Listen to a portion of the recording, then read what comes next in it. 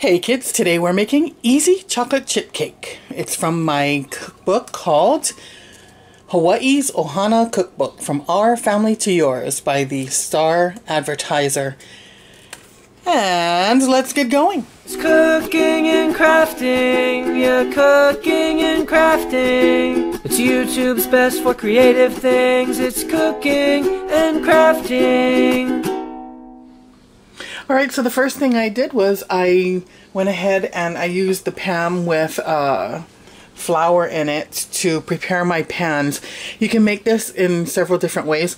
You can use three of these 8x4 loaf pans. You can use five of the mini 6x3 loaf pans.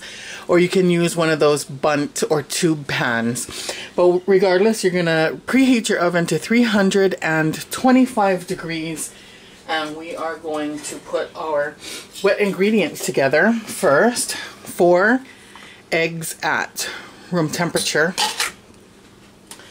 three fourths cup of vegetable oil, and one cup of milk. You can use whole, skim, or buttermilk. It doesn't matter. And we're going to mix up this wet, the wet ingredients, and then in a separate bowl, we're going to put together our dry ingredients. This is a really fast, simple recipe. Another thing that I uh, did ahead of time was I got one cup of mini semi-sweet chocolate chips and I put a teaspoon of flour in there and mixed it around to coat the chocolate chips and we're going to just set that on the side. Now that we have that done, we're going to bring in a different bowl and we're going to add our dry ingredients, which is a box of yellow cake mix.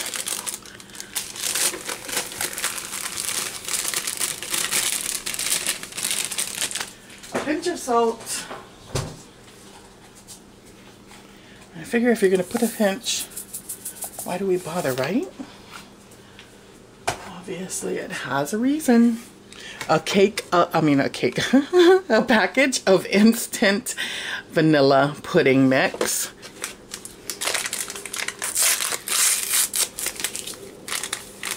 And four tablespoons of cocoa. So I'm going to mix this all together. And once this is mixed,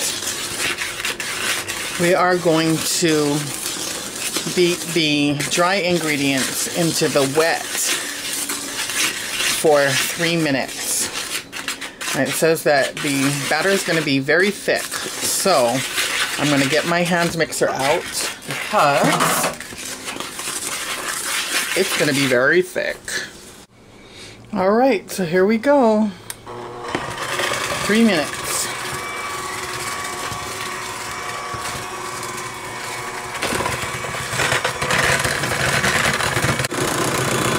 What's happening here with the beating for three minutes is that the pudding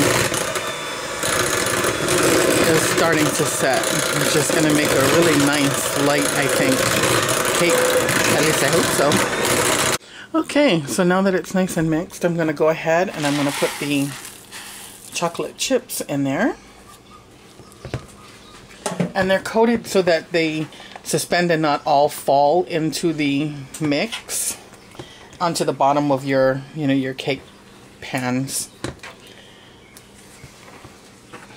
And now we're just going to go ahead and we're going to divide this evenly among the pans that you're going to use. I'm using, like I said, the three 8 by 4s So, my oven has booped and it is ready for my luscious spreads. Well, it, you know what? They call it cakes. So, it will be interesting to see if this would, you know, like you feel like this would need a frosting. I don't think it should. Hello, outside kitties. Bye, easy chocolate chip cake. See you in 45 to 50 minutes.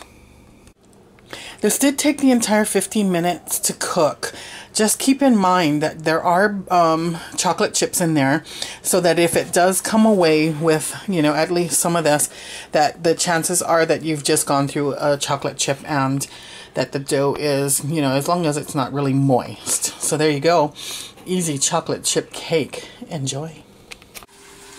This is the lightest, moistest, ooh, nicest, nicest cake ever. Doesn't need a frosting. Very, very good. Enjoy.